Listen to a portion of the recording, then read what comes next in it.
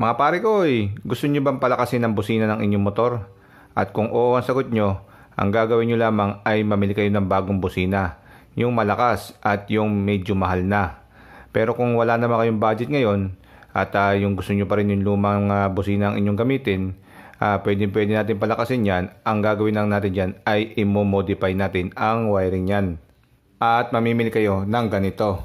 Ito yung tinatawag na Horn Universal Modified Wiring Harness. O kaya ganito ang kinuha natin dahil ito ay nakaset na at plug and play na lamang at wala na tayong po problemahin iba pang connection. Tara buksan mo natin kung ano yung kanyang laman.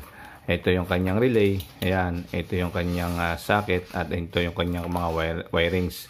Kung makikita natin yung wirings niya isa nakaset na at uh, ready to install to sa ating motor. At ito yung ating relay. Ano ba tong relay na to? Uh, sa madaling paliwanag, ang relay is act as a second switch dahil yung pinaka main switch natin ay yung ginipidot natin doon sa ating busina.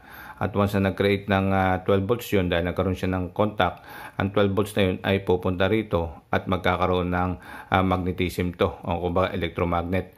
Then yung electromagnet na yon ay magkakaroon ng kontakto, didikit siyang ganun. Then yung didikit na yon, magkakaroon siya ng continuation kung ano man ang ilalagay mo rito.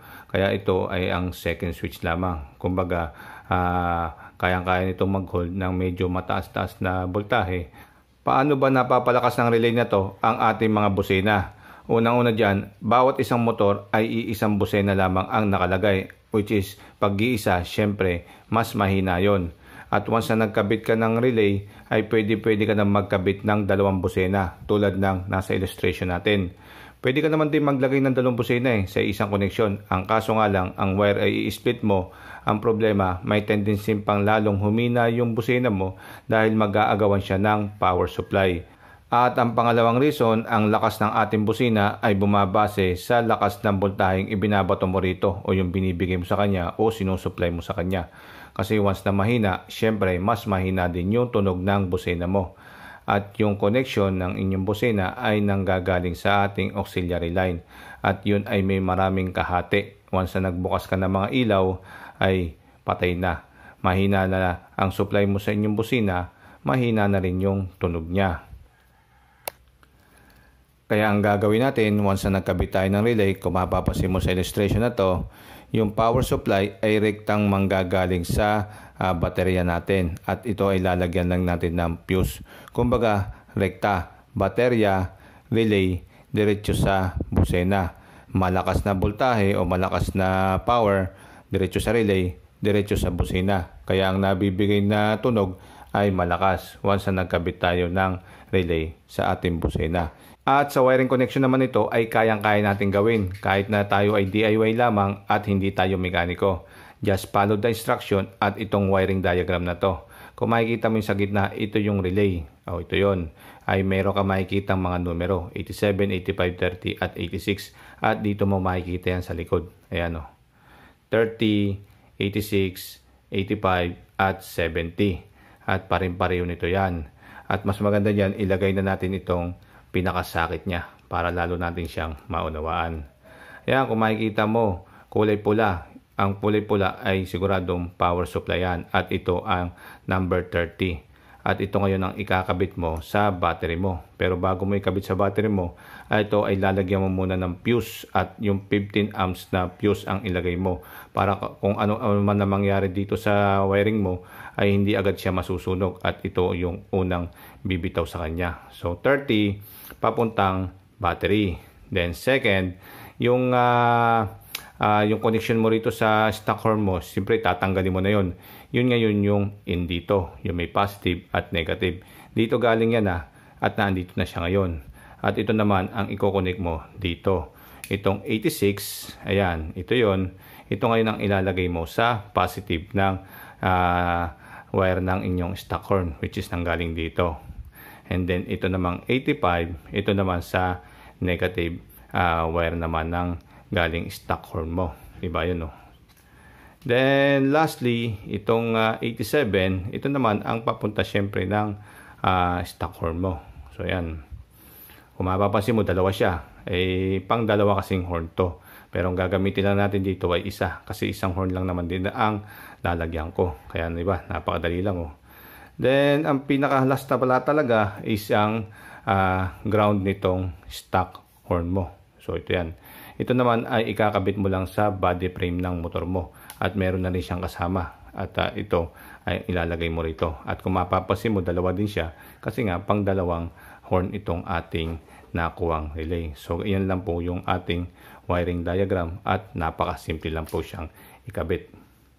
At ang kaunaw natin gagawin, itong ating power supply ay lalagyan natin ng 15 amps na fuse na tulad nito. Ayan, naglagay na ako ng fuse, 15 amps yan. At ito yung ikakabit natin sa ating baterya. Then, ito rin yung aking nilagay. Naglagay din ako ng cover para kung ano man mangyari at hindi siya mababasa ng tubig at malalagyan ng alikabok. Hanggang yun siya at siya ay nalawit-lawit na lang doon sa harapan ng aking motor. At ayan mga pare ko at ilalagay natin to sa ating busina at sa single lang natin siya ilalagay muna. Uh, pero pwede pwede natin tong ilagay sa dalawang busina.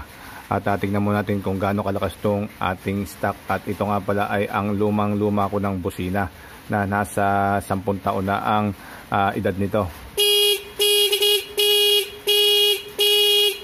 So yan, ganun siya kalakas at uh, try, lagyan na natin siya ng uh, relay. Ang una mo lang gagawin ay tatanggalin mo lang ito munang dalawa na to dahil ito yung kanyang connection. Yan yung dalawa. Dahil ito ay may paglalagyan din tayo. Yan o, oh, yung dalawa na yan. At ayun, na-expose na natin yung ito. Then, ikabit natin dito yung ating relay. Pwede natin itong i-tie wrap na lamang o to kaya naman dumiskarte kayo pwede kayo mag extension ng mga wire at kung saan saan nyo lang ilagay yung relay nyo para nakatago pero ako dito na lang muna natin siya ilagay para madali natin malaman yung mga connection nya at ang una kong ilalagay is itong ating ground ng horn. At kung makikita nyo tinakma ko yung isa dahil isa lang naman na ating gagamitin dahil isa lang naman yung ating busina. Then ang ginawa na lang natin is nagdusa lang na tayo ng isang bolt dito. At dito natin siya, siya ikakabit sa pinaka body frame natin. Yan at pagkatapos yung ikabit tong ground dito sa frame ng inyong motor, ay ikabit nyo naman siya doon sa negative terminal ng inyong busina. Ayun, ayun doon, siya, doon ko siya ikinabit. At ang susunod naman natin ay ipush na natin tong ating relay dito sa parting una ng ating motor. At bahala na kayo kung paano siya ikakabit. Ang sa akin lang naman is ikakabit ko lang siya ng tie wrap kasi may mga wire naman siya at hindi naman siya basta-basta mahuhulog. At sa, sa dito naman ang gagawin natin yung 86 ay ilalagay naman natin sa positive terminal ng ating busina.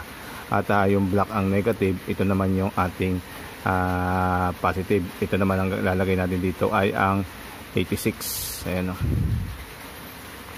saksak mo lang ganun. Then yung kulay or 85 na kulay which is ito ang ilalagay naman natin sa black at na, na, na wire which is yung ground.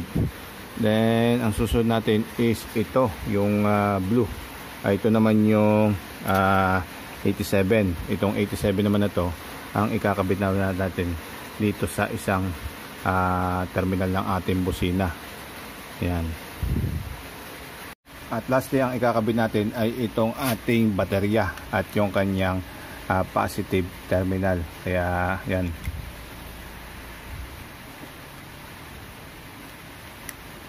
At ayan naikabitan natin itong ating terminal ng busina sa ating baterya. At ayan mga pare ko eh, at natapos na yung ating connection at hopefully nasundan nyo siya. At uh, medyo magulo pa, i-arrange ko na lang to mamaya. At uh, ganun lang din ang inyong gawin. Pagkatapos yung i-connect, i-arrange nyo, lagyan nyo ng tie wrap at i-secure nyo yung mga wire nyo. Ang kagandahan nito sa atin ay kahit na anong mangyari at wag sa nakaproblema itong inyong relay, ang gagawin mo lang very simple ay huhugutin mo lang to at uh, ibabalik mo tong uh, dalawang linya nito doon sa busina nyo at ready, no, ready to go na kayo. Dahil wala naman tayong sinirang wire dito wala naman tayong binalatan wala naman tayong pinutol kundi nagdagdag lang tayo ng accessories. Ganun lang yung ating ginagawa. Uh, kasi uh, napaka-importante na ma-preserve natin yung original wiring kasi yan ang nakakaproblema ng ating motor at nakakasira. Yung putol dito putol doon pagkagulo-gulo na parang bulbul yung ating wiring at dyan pa yung source ng pagkasunog dito sa ginawa natin. Very simple. Uh, may sariling connection may sariling power supply at wala tayong pinutol wala tayong sinirang wiring dito. Inuulit ko once na nagka-problema ibalik lang ulit ito sa dating posisyon doon sa ating busina. At tanggalin mo na itong kinabit mo na relay at wirings ay okay na ulit. Kasi yun ang maganda talaga sa ating ginagawa na to. Then syempre ang uh, pinaka final natin ay testingin na natin siya kung lumakas nga yung ating busina. Yan ko lang. And then 3, 2, 1 ay Diyos ko po. Nakakatulok dahil napakalakas ng ating busina. Dahil ito ay nakarekta na sa ating baterya. So yan mga pare ko eh. At uh, iaayos lang ulit natin to ng uh, location. Hanggang dito lang tong aking video.